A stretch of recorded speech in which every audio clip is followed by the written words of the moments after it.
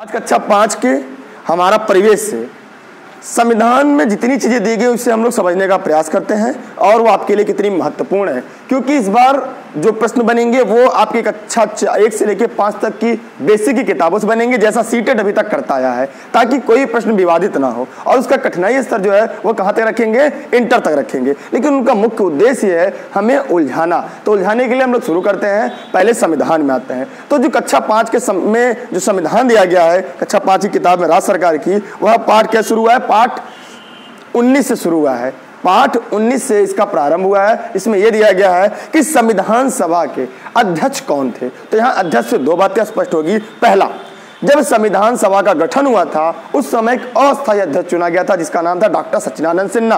किंतु बैठक असफल रही। दो दिन बाद मतलब 9 दिसंबर 1946 को डॉक्टर सच्चिदानंद सिन्हा को संविधान सभा का अस्थायी अध्यक्ष चुना गया था। किंतु मुस्लिम लीग ने बहिष्कार करने के कारण, पुनः दो दिन के बाद 11 दिसंबर 1946 को जब दोबारा संविधान सभा की बैठक हुई, उस समय देश के संविधान सभा जो अध्यक्ष चुने गए, वो डॉक्टर राजेंद्र प्रसाद चुने गए। और दूसरी बात, संविधान सभा के प्रारंभ से लेकर अंत तक डॉक्टर राजेंद्र प्रसाद ही संविधान सभा के अध्यक्ष रहे।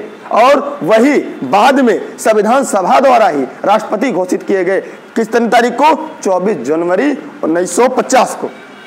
और 26 जनवरी 1950 को गणतंत्र दिवस मनाया गया और जहाँ पर राष्ट्रपति ने संबोधन किया और देश में झंडा फहराया और उस दिन से पूरे देश में संविधान लागू हो गया। दूसरी बात, संविधान जो लिखने का समय था, वो दो वर्ष ग्यारह माह अठारह दिन में संविधान लिखकर तैयार हुआ। इसके जो प्रारूप समिति था, उसके अध्यक्ष डॉक्टर भीमराव अंबेडकर थे। इसमें सात सदस्य थे, जिसके प्रारूप जो अध्यक्ष थे, वो डॉक्टर भीमराव अंबेडकर जी थे। ठीक है? और संविधान जो आपका लिख के तैयार हुआ था वो 26 नवंबर उन्नीस सौ उनचास को। किंतु इसे लागू किया गया लगभग साठ दिन बाद 26 जनवरी 1950 को। उसके लिए भी आ, रीजन था जो मैंने आपको बता दिया लाहौर में स्वाधीनता दिवस की जो मांग की गई थी। इसलिए उस दिन को ही पूरे देश में गणतंत्र दिवस के रूप में मनाया जाने लगा। गणतंत्र का मतलब हो गया कि हमारे देश का अच्छा गणतंत्र शब्द का मतलब क्या होता है? गणतंत्र इसमें शब्द भी दिया है। मतलब हमारे देश का जो राष्ट्राध्यक्ष होता है, वो वंशानुगत न होके वह निर्वाचित होता है। कितने के लिए? पाँच वर्षों के लिए। कितने दिन के लिए? पाँच वर्षों के लिए वो निर्वाचित होता है। वह अंग्रेज़, ब्रिटेन की तरह वंशानुगत नहीं होता। ठीक? उसके बाद आते हैं फिर आप पुनः संविधान की विशेषता, जो आपके इसमें दिया भी गया है। हाँ तो संविधान की विशेषता यह आपकी कक्षा पाँच किताब में दिया गया है। विशेषता में कुछ शब्दों का उल्लेख किया गया है। जब संविधान सभा की पहली बैठक हुई थी 9 दिसंबर उन्नीस सौ छियालीस को, यह बैठक क्या पूरी तरह से स्थगित हो गई। उन्हें 11 दिसंबर 1946 को बैठक हुई। उस दिन राजेंद्र प्रसाद को संविधान सभा का अध्यक्ष चुना गया और दो दिन के बाद दो दिन के बाद पुनः जब संविधान सभा की बैठक हुई तो उसमें आपके पंडित जवाहरलाल नेहरू ने उद्देशिका के साथ संविधान सभा को प्रारंभ किया। अपनी संविधान का जो प्रारूप था, वह उद्देशिका से प्रारंभ किया। उद्देशिका का तात्पर्य हम ये कह सकते हैं, आप लोग हिंदी भी देंगे यूपीटेड में तीस नंबर का तो उसमें होता है, एक गद्यांश या पद्यांश देता है, पूछता है इस पाठ का शीर्षक क्या है। ठीक? और कभी कभी देता है कि इसका भावार्थ लिखिए। एक होता है संदर्भ एक होता है प्रसंग एक होता है सारांश। ठीक? तो सारांश किसे कहते हैं? पूरे पाठ का माने पूरे कथा वस्तु का पूरे विषय वस्तु का जो संक्षेप में निरूपित या प्रस्तुतिकरण होता है उसे हम सारांश कहते हैं। उसी तरह जो हमारा इतना मोटा लिखित संविधान है, देश का सबसे बड़ा, उसकी जो सारांश है, वह क्या है? आपकी उद्देशिका या प्रस्तावना है। इसे संविधान की आत्मा या हृदय कहते हैं। किंतु, यदि यह पूछ दे भीमराव अंबेडकर ने किसे कहा था, तब अनुच्छेद बत्तीस।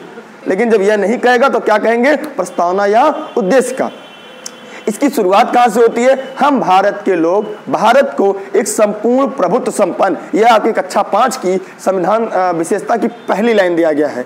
आप कक्षा पाँच की किताब खोलिएगा, उन, पाठ उन्नीस का दूसरा क्या हुआ? नहीं पढ़े आप लोग, पढ़ लीजिएगा। दूसरा पेज पे है ये, ठीक, तीसरी चौथी लाइन में है ये। तो दिया गया है, हम भारत के लोग मतलब इसका मतलब क्या होता है? क्योंकि ये किताब के भी पेज, फ्रंट पेज पे भी दिया है। इसका मतलब ये होता है कि हम भारत के लोग का मतलब भारत में जो सबसे शक्तिशाली है, वह जनता है। हम भारत के लोग, भारत को एक संपूर्ण प्रभुत्व संपन्न, यह लाइन एकदम सेम टू सेम आपके कक्षा पाँच किताब में दिया, संपूर्ण प्रभुत्व संपन्न का मतलब सावरेंटी इसका मतलब क्या है? सर्वशक्तिमान। सर्वशक्तिमान का मतलब यह है कि भारत के ऊपर किसी अन्य देश का हस्तक्षेप नहीं होगा। वह अपने देश के लिए स्वतंत्र रूप से नियम और कानून बना सकती है। जैसे, यदि आपके घर में आप कोई नियम कानून बनाएँगे तो बनाएँगे तो पापा जी दो मारेंगे कि हमारे रहते आप कानून बनाएँगे। और मान पापा जी कानून बनाए तो डीएम आएगा कहेगा नहीं ऐसे नहीं ऐसे होगा। तो डीएम के ऊपर सचिव सचिव के ऊपर मुख्यमंत्री अब राज्य में कोई राज्य में अगर कोई व्यक्ति कानून बनाता है कोई मुख्यमंत्री तो क्या केंद्र सरकार हस्तक्षेप कर सकती है। कर सकती है। लेकिन यदि भारत सरकार स्वयं बनाए तो उसमें कोई देश चाइना हस्तक्षेप करेगा? कि भाई अपने लिखित परीक्षा का आयोजन क्यों करा रहे हैं? या आप अपने यहाँ इस तरह की परीक्षा का आयोजन क्यों करा रहे हैं? मतलब इसका मतलब है कि सर्वशक्तिमान माने संपूर्ण प्रभुत्व संपन्न माने भारत स्वयं अपने आप में सर्वशक्तिमान है इससे बड़ी कोई शक्ति या कोई ताकत नहीं है। यही होता है इसका मतलब होता है संपूर्ण संपूर्ण प्रभुत्व संपन्न का तात्पर्य यही। माने वह किसी पे आत, किसी के नियम को फॉलो करने के लिए बाध्य नहीं है। हाँ संधि समझौता इसके तहत वो कर सकता है। किंतु स्वयं कोई नियम कानून बनाना होगा, इसका निर्णय स्वयं भारत सरकार करेगी। ठीक, अगला है, हम भारत के लोग, भारत को संपूर्ण प्रभुत्व संपन्न समाजवादी।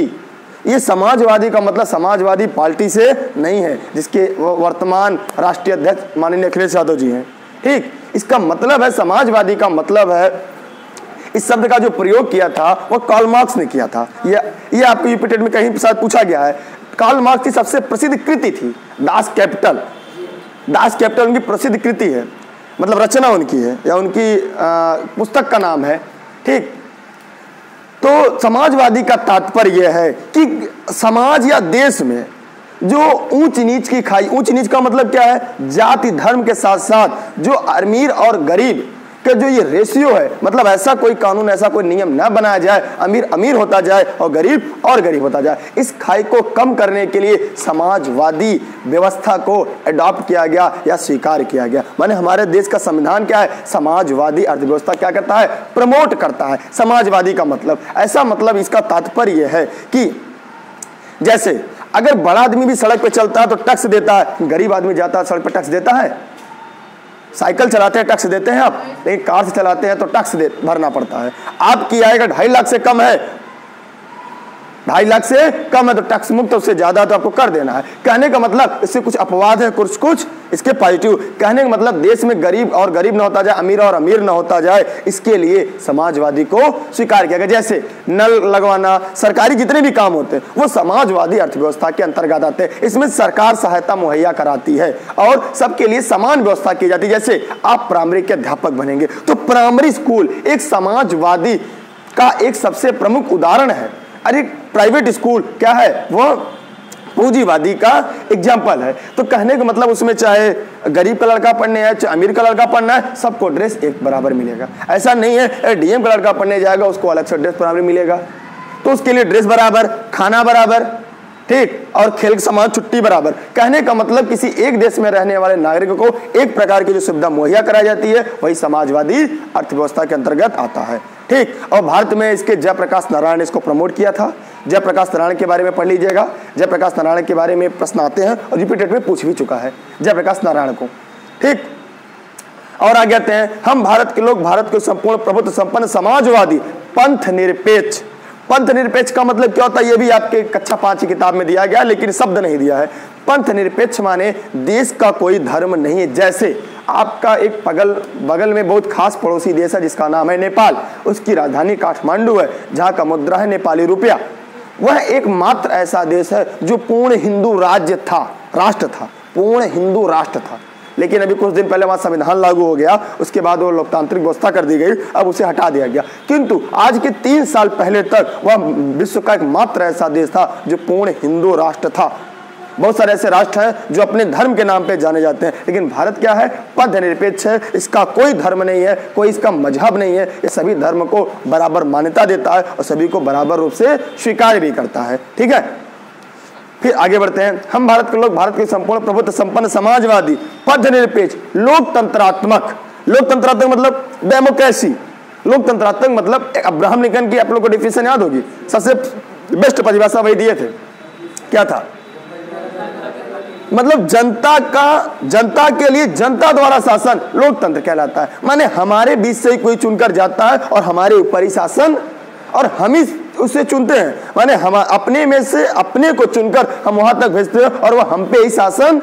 इसका उद्देश्य यह था, लोकतंत्र का उद्देश्य यह था कि यदि कोई अपना व्यक्ति जाएगा तो अपनी व्यक्ति को, पीड़ा को समझेगा और हमारे लिए उस तरह से बेहतर कानून बनाएगा। लेकिन होता क्या है वो आप सब बेहतर तरीके से जानते हैं। ठीक लोकतंत्र क्या है इस समय? लोग किस तरह से अपना घर बसा रहे हैं, दूसरे का बसा रहे हैं, अपना हित देखते हैं कि जनता का हित देखते हैं, वो तो बात की बात है। और आगे बढ़ते हैं।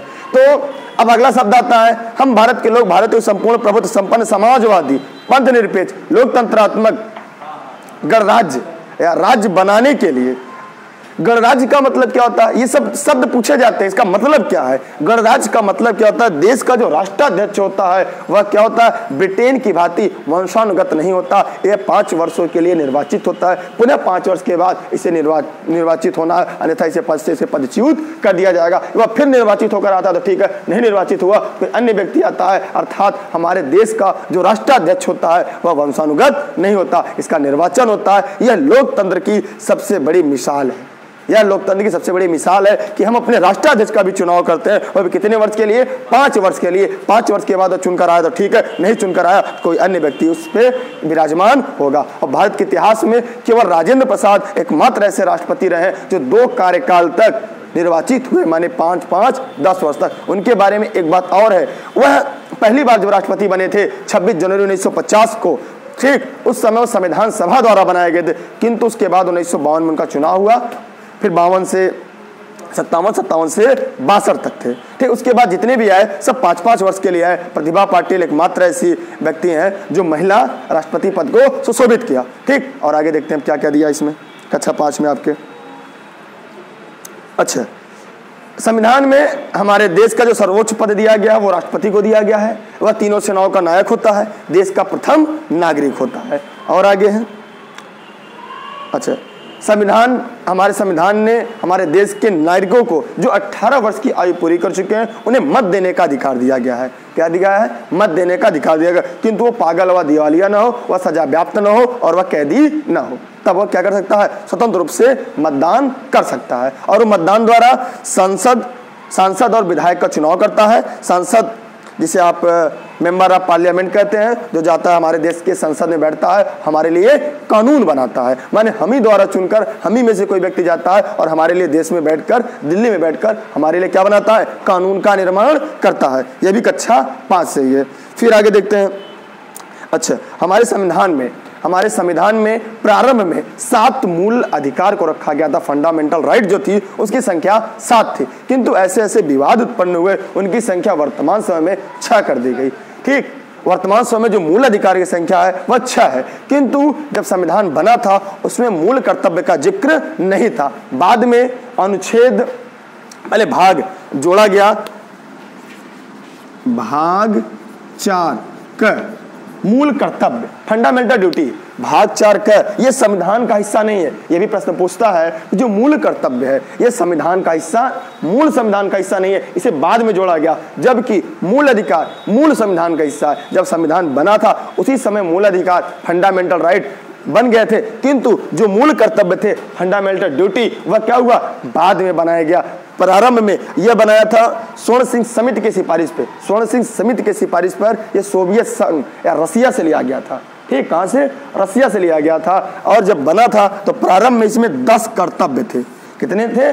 दस कर्तव्य थे। किंतु बाद में छियासीवा संविधान संशोधन 2002 के बाद इसमें एक और जोड़ दिया गया कि प्रत्येक अभिभावक का यह कर्तव्य होगा कि अपने नज़दीकी छह से चौदह वर्ष तक के बालकों को या बालिकाओं को क्या करे? अपनी निजी या नज़दीकी विद्यालय में दाखिला करा के उन्हें शिक्षा प्रदान कराएँ। 2002 छियासीवा संविधान संशोधन। ये बहुत ज़्यादा पूछता है। ठीक फिर मूल मूल अधिकार में भी जोड़ा गया। मूल अधिकार में छियासीवा संविधान संशोधन कॉन्स्टिट्यूशन अमेंडमेंट 86 माने छियासीवें संविधान संशोधन 2002 के द्वारा, संविधान 2002 के द्वारा अनुच्छेद 21 को, इक्कीस में मूल अधिकार में शिक्षा के अधिकार को भी जोड़ा गया और वहाँ कहा गया कि 6 से 14 वर्ष तक के बालकों को निशुल्क शिक्षा लेने का अधिकार है। माने हमारा संविधान जो है, उन्हें फंडामेंटल ड्यूटी देता है। किसके लिए? ये छह से चौदह वर्ष तक के बालकों के लिए निशुल्क शिक्षा के लिए। किसके लिए? निशुल्क शिक्षा के लिए। और आगे देख लेकिन जो कॉन्स्टिट्यूशन में जो अमेंडमेंट जोड़ा गया वह छियासीवें संविधान संशोधन 2002 द्वारा अनुच्छेद 21 का। जिसमें उसको ये पूरा अधिकार दिया गया कि प्रत्येक बालक का यह कर्तव्य होगा। अच्छा बाद में मूल नीति निर्देशक तत्व ही जोड़ा गया, अनुच्छेद 45 क में। उसमें यह जोड़ा गया कि प्रत्येक राज्य का यह कर्तव्य होगा कि अपने राज्य के में छह से चौदह वर्ष तक के बालकों को निःशुल्क शिक्षा दिलाए। उसके लिए वो क्या करते हैं? अन्य योजनाएँ चलाते जैसे मिड डे मील। ड्रेस वितरित करना, जूता मोजा वितरित करना, स्वेटर वितरित अभी ठंडी आ रही स्वेटर वितरित करना, निःशुल्क किताबें, निःशुल्क प्लेट देना निःशुल्क बैग देना ये सभी क्या है? जैसे सरकार ने बैग दिया तो ज़रूरी नहीं अगली सरकार भी बैग दे। तो ये नीति निर्देशक तत्व होता है। तो ये क्या था? अनुच्छेद पैंतालीस का कहते हैं? माने शिक्षा के साथ साथ बच्चों को विद्यालय तक लाने की ज़िम्मेदारी किसकी होगी? राज्य सरकार की होगी। कैसे लाएगा? शिक्षा देगा, भोजन देगा, बैग देगा, किताबें देगा स्कॉलरशिप देगा।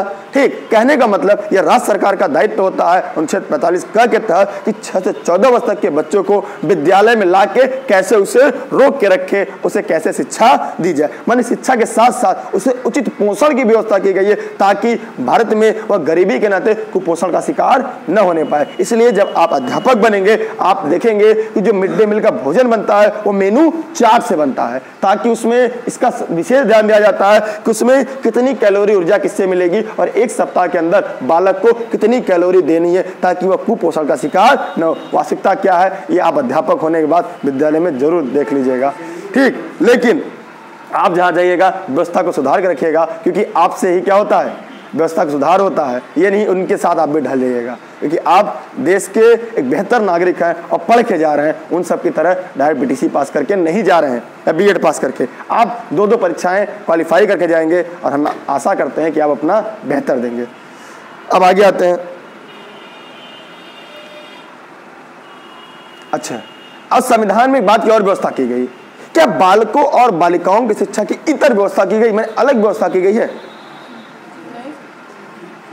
हाँ कुछ स्थान भी किया गया उसके अपवाद है, वो आपको याद भी करने हैं। लेकिन इसमें बता दें कि बालिकाओं को, बालकों के समकक्ष लाने के लिए सरकार ने एक साथ शिक्षा देने की बात कही। माने सरकार का मतलब ये संविधान कहता है कि जितना अधिकार, जितना राइट बालकों को होता, उतना बालिकाओं को भी होता। इसलिए शिक्षा के मामले में बालक और बालिकाओं को समान अधिकार दिए गए हैं। लेकिन किंतु कुछ स्थानों पर बालिकाओं को विशेष प्रावधान किया गया है। लेकिन शिक्षा देने के मामले में बालक और बालिकाएँ एक दूसरे से इतर नहीं है। दोनों के लिए क्या है? समान व्यवस्था की गई ताकि वह सामाजिक दृष्टिकोण से और शैक्षिक दृष्टिकोण से समकक्ष और बराबर रहे और पुरुषों के साथ भविष्य में कंधा से कंधा मिलाकर चल सके। ऐसा संविधान ने किया है। ठीक, अब ये मत कहिएगा कि इंदिरा गांधी बालिका विद्यालय है, फिर कई व्यवस्थाएँ चल रही है, वो उसका अपवाद है। चलिए, अब इसमें आ गया है आपका अभ्यास प्रश्न, कक्षा पाँच में। यह है, हमारा संविधान क्यों बनाया गया? प्रश्न दूसरा है, संविधान सभा के अध्यक्ष कौन थे? यहाँ पे राजेंद्र प्रसाद को ही करेंगे आप। हाँ। ठीक, उसके बाद है, हम भारतीय देखिए फिल इन द ब्लैंक्स है। हमारा भारतीय संविधान को लागू किया गया 26 जनवरी 1950 को। प्रतिवर्ष 26 जनवरी को हम गणतंत्र दिवस के रूप में मनाते हैं। यह था कक्षा पाँच का संविधान आपका। पाठ 19 हमारा संविधान। ठीक? इसको हमने बताने का आपको प्रयास किया। अब अगले पार्ट में चलते हैं। ठीक?